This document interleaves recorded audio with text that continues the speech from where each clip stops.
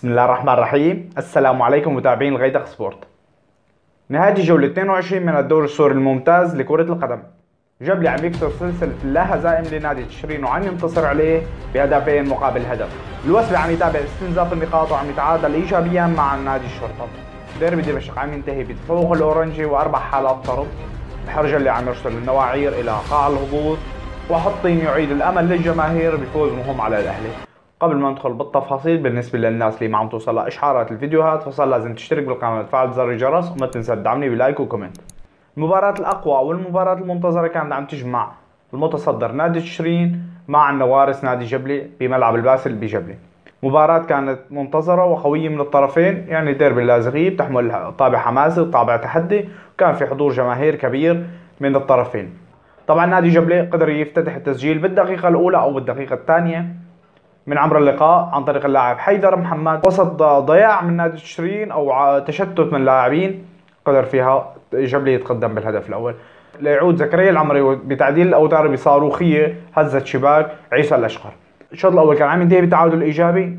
الشوط الثاني كنا عم نشوف تشرين أكثر عم يضغط تشرين كان أكثر آه، نزعة هجومية. يعني نوعا ما جبلي كان عم يعتمد نوعا ما على المرتدات والدفاع المغلق.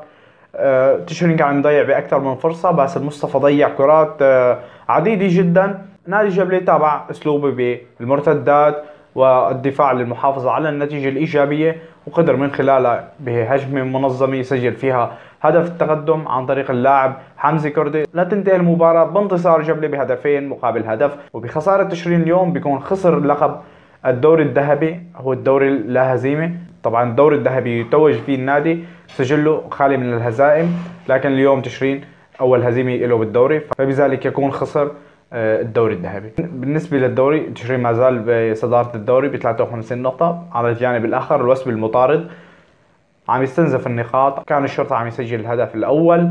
كنا عم نشوف تضييع لأنس بوطة لركلة جزاء لنادي الوسبي يعود وائل الرفاعي بتسجيل هدف التعادل. مباراة كان أقوى لنادي الوسبي كان أكثر ضغط أكثر هجوم أكثر آه، استحواذ لكن من دون جدوى. يعني بصراحة نادي الوسبي آخر خمس أو ست مباريات ثلاث تعادلات وخسارتين آه، هدف وحيد. يعني نوعا ما بدأ الانهيار آه، لنادي الفرسان. ديربي دمشق بين الوحدة والجيش عم ينتهي بفوز الوحدة بهدف نظيف. طبعا نادي الجيش كان عم يلعب بغيابات. شفنا محمد الواكد عم ينزل كبديل آه، بغياب مازن العيس المباراة عم تشهد أربع حالات طرد. طبعا نتيجة المباراة ما تأثر على ترتيب الدوري. الجيش بالمركز الثالث ب 41 نقطة الوحدة بالمركز الرابع ب 35 نقطة. نادي حطين عم يزرع الأمل من جديد بقلوب الجماهير وفوز مهم على الأهلي الحلبي بهدفين نظيفين هدفين عم ينعشوا آمال نادي حطين بالبقاء بدور الأضواء ودور المونتاج الحرجة اللي عم يتغلب على النواعير بثلاث أهداف مقابل هدفين وعم يرسل النواعير إلى قاع الهبوط عم يأكد هبوط. نادي النواعير عفرين أيضا عم يخسر من الفتو بثلاث أهداف مقابل هدف. طبعا حكينا بأكثر من فيديو يعني آه، عفرين بدأ بالهبوط وبدأ التشبث بالهبوط. حاليا نواعير وعفرين إلى دور الدرجة الأولى يعني للاسف طبعا متبقي مباراة الكرامة مع الطليعة. المباراة آه، عند الساعة العاشرة مساء. آه، سهرة كروية إن شاء الله بتكون مباراة حلوة بتكون مباراة ممتعة للجميع.